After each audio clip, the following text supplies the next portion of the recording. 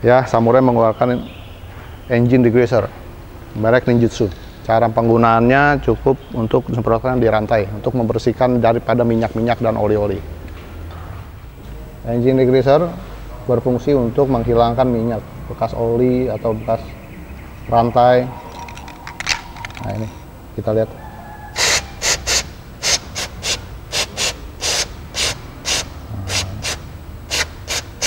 ini untuk mesin-mesin.